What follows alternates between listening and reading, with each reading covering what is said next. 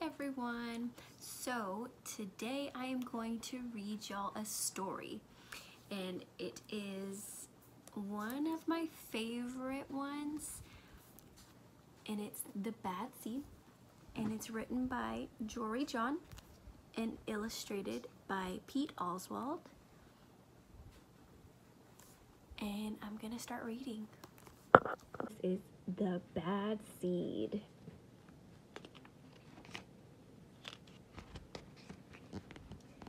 I'm a bad seed. A bad seed. Oh yeah, it's true. The other seeds, they look at me and they say, that seed is so bad.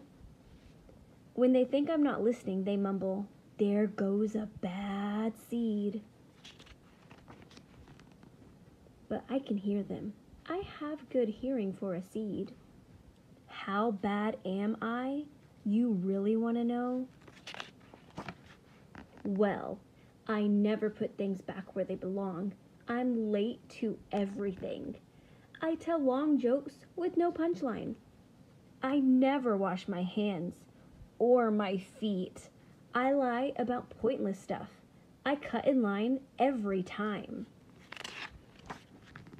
I stare at everybody. I glare at everybody. I finish everybody's sentences and I never listen. And I do lots of other bad things too. Know why? Because I'm a bad seed. A bad seed.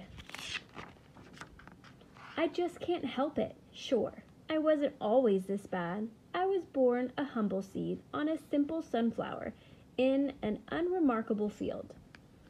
I had a big family, seeds everywhere. We found ways of having fun. We were close. But then the petals dropped and our flower drooped. It's kind of a blur. I remember a bag. Everything went dark. And then, then, a giant! I thought I was a goner. I thought I was done for. I screamed and I hollered, ah! But I was spit out at the last possible second. I flew through the air and I landed under the bleachers with a huge thud. When I woke up, it was dark outside. A wad of gum had softened my fall.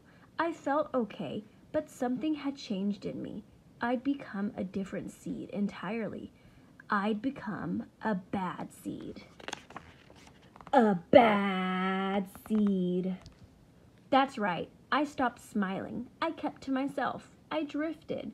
I was a friend to nobody and bad to everybody. I was lost on purpose. I lived inside a soda can. I didn't care, and it suited me. Until recently, I've made a big decision. I've decided I don't want to be a bad seed anymore. I'm ready to be happy. It's hard to be good when you're so used to being bad, but I'm trying. I'm taking it one day at a time. Sure, I still forget to listen, and I still show up late, and I still talk during movies, and I do all kinds of other bad stuff.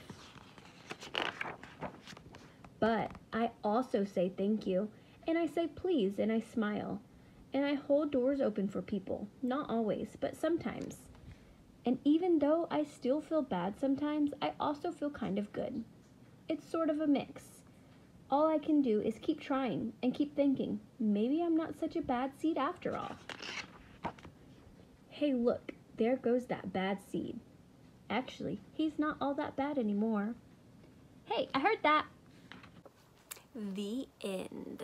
So, that was the bad seed. And I like this book because even if people think that you're a bad seed, you can just change. You can say, you know what? I don't want to be a bad seed. I'm going to be a good seed. And all you have to do is just do little tiny things. You can just say please and thank you, or you can help put your toys away, and just little things like that will make you be a good seed.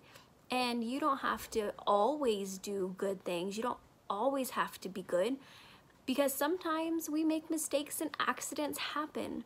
But as long as we know that you're trying and that you are being nice, then you're a good seed. And that's all that matters is that you're trying.